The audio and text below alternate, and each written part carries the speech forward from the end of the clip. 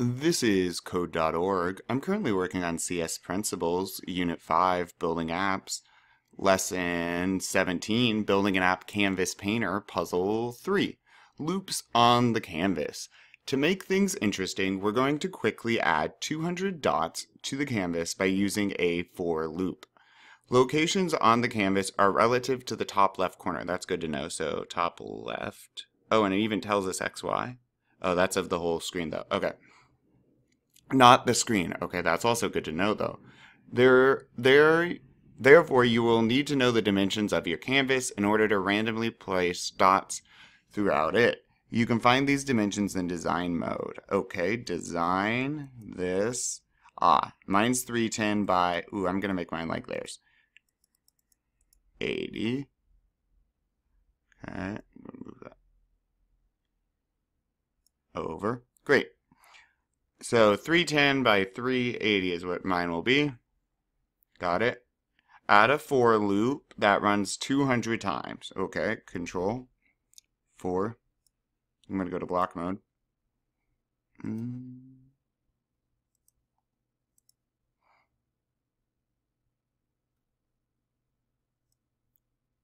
That runs 200 times. All right, so we start at zero. So if I say less than 200, it will only go to 199, right? I plus plus means add one to I each time we loop through our code.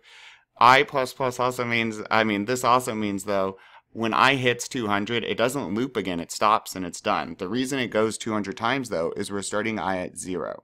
So we go 199 times plus the time we ran at zero is 200 times for I. So we'll loop through 200 times.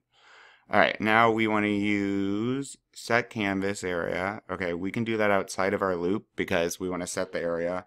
And then we want to draw a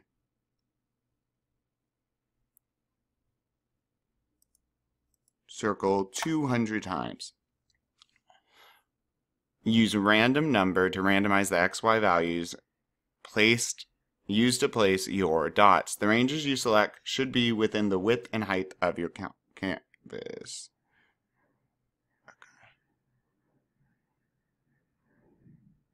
And then math, random.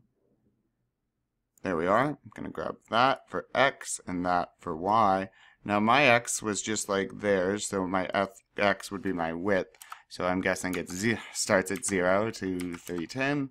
And then my y that I'm going to randomize is 0 to 380.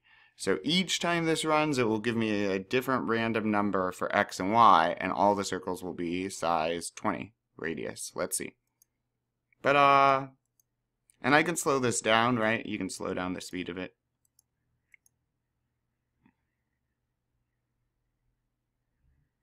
Maybe that's too slow.